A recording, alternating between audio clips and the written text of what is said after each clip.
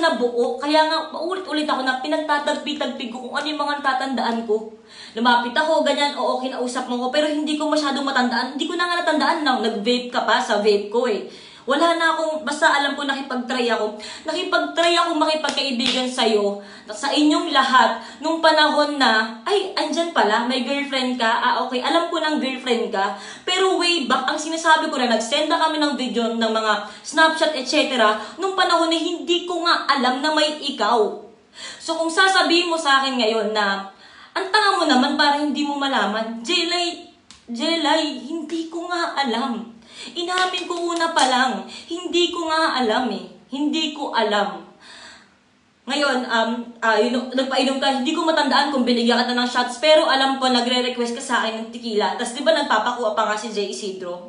So ang ginawa ko, kuha ka ng ano, kuha ka ng isa pa, babayaran ko pa, di ba? Kasi nagtatry ako makipag-friends, kasi nga mali ako na, ay, shit, may girlfriend pala siya, ay, ang bait pala, ganyan.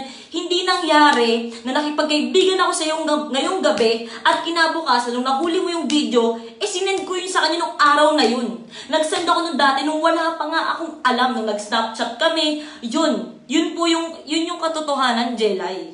Yun yung sinasabi ko kanina sa live ko at yun ang katotohanan.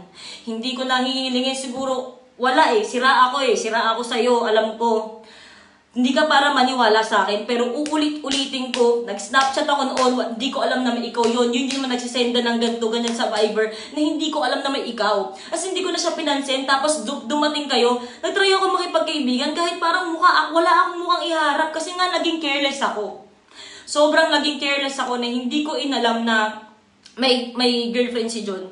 So, hindi po nangyari, Jelay, hindi nangyari na kinaibigan kita nung gabi, tapos nag-send ako ng kinaumagahan. Walang ganong nangyari. Kaya ako nagsasalita ngayon kasi ngayon talaga ako nagsasalita na pagkakataon ko to. Wala naman ako ibang pagkakataon eh. Ito pa, sinulat ko yan eh, habang nagla-live ka, sinusulat ko ano bang po pwede kong uh, i-sabihin sa'yo o sabihin sa mga tao. Ngayon, sa, yung sinasabi niyong bayad sa Facebook at saka sa endo- endorsement, sinasabi mo yan, side mo yan, kaya ako sinabi yung kanina na bayad kayo, ganyan, kasi si John nagsabi sa akin nun. Kaya please lang John, magsalita ka, di ba ikaw nagsabi niyan? Di ba may gig nga ako sa Pampanga, sabi mo umiiyak dun si Jelay. Sila hindi nagpunta, hindi ka nagpunta, mas pinili mong pumunta sa gig, which is pinost ko yung picture na yun, magkakasama tayo, kasama yung grupo ko, yun yung nag-MC ka, nag-MC ka sa amin. So, yun, yun siya. Wala akong sinabi na sinabi ni Jelay to na nagbayad sila sa Facebook. And si John Gutierrez po ang nagsabi sa akin na ganun. Okay? Si John Gutierrez po. Ngayon, yung kumakain ako sa labas, may nabanggit ka kanina na kumakain ako sa labas. Nung kumakain ako sa labas, kasama ko yung mga kaibigan ko ng birthday